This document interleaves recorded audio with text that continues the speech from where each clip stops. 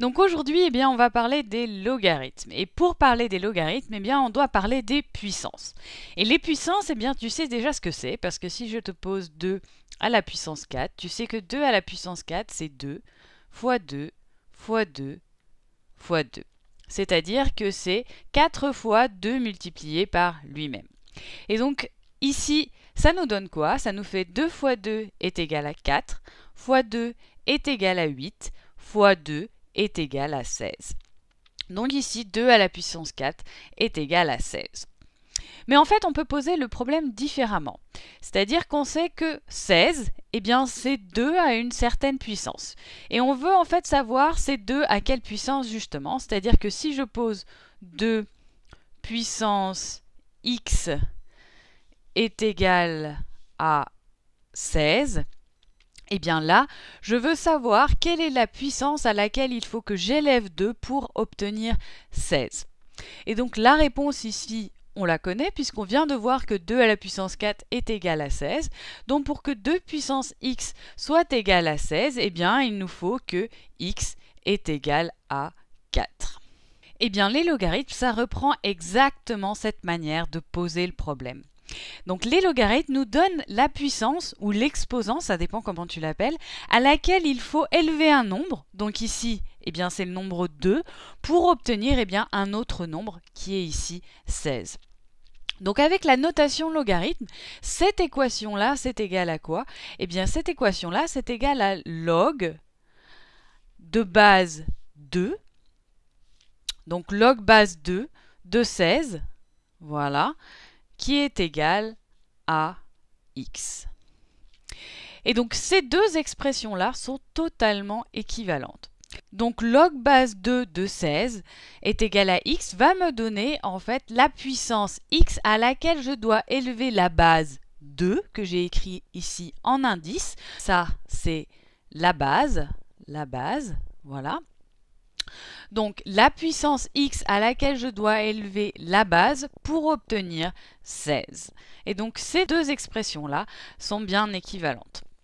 Donc on va faire quelques autres exemples ensemble pour que tu prennes l'habitude eh de manipuler ces logarithmes.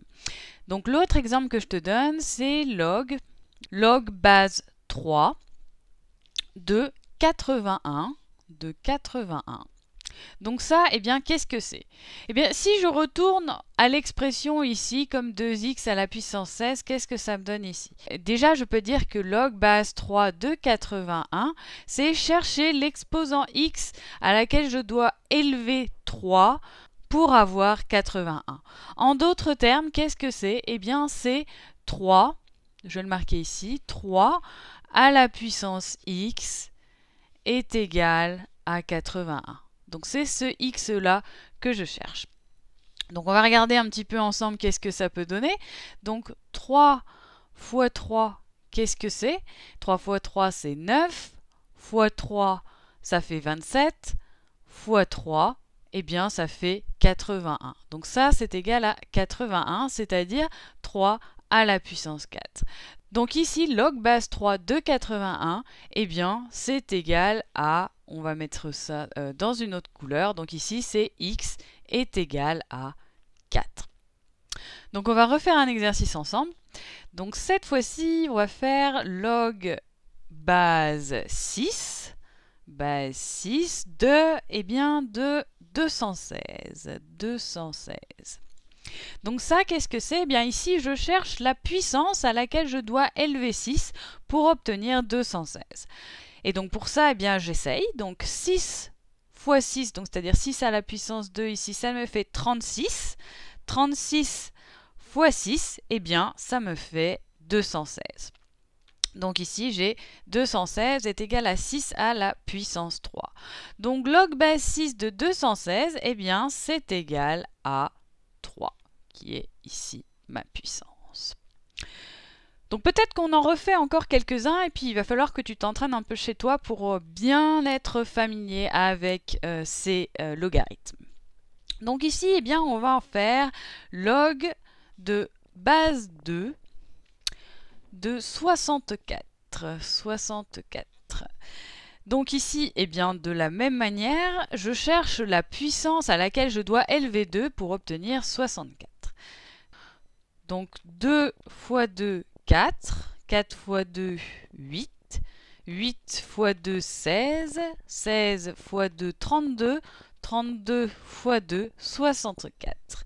Donc ici, ça, ça me fait 64. Et j'ai combien de 2 Là, j'en ai 1, 2, 3, 4, 5, 6. Donc c'est 2 à la puissance 6. Donc log base de 2, 64, eh bien, ça me fait 6. Donc on va en faire un dernier ensemble, un dernier un peu plus simple, ou un peu plus difficile peut-être. Donc log base 100, donc log base 100 de 1. Et donc ça, c'est égal à quoi? Donc ici, tu dois te demander quelle est la puissance à laquelle je dois élever 100 pour obtenir 1. C'est-à-dire que cette expression-là, log base 100 de 1, va me donner cette puissance-là. En d'autres termes, ce que je cherche ici, c'est eh bien quelle est la puissance x telle que 100x, 100 puissance x, pardon, est égal à 1. Et donc ça, quand je vois ça, 100 puissance x est égal à 1, eh bien, quelle est la valeur de x? Eh bien, je sais que n'importe quel nombre en fait à la puissance 0 est égal à 1. Donc ici, qu'est-ce qui se passe? Eh bien, il s'ensuit que x est égal à 0. En fait, ici, x va être égal à 0 pour n'importe quelle base du logarithme dans cette équation-là. C'est-à-dire, log de n'importe quelle base de 1 va toujours être égal à 0, car un nombre à la puissance 0 va toujours être égal à